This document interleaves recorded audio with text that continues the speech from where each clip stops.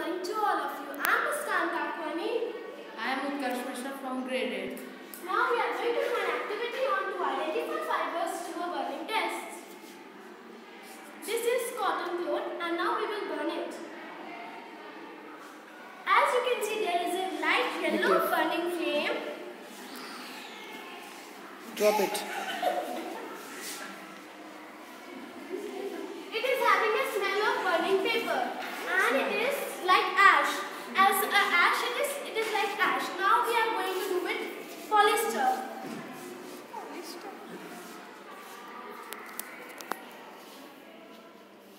As you can see it is not catching fires easily. It does not it is melting but it fire is not easily catching on it. So it shrinks away, burns, and it's it is not having definite smell. Now we will do with wool cloth. Oh, I find it. It is it's smell it's like a, it's like a burning hair. We can do now with acrylic. It also like a hair one as it is also like polyester one.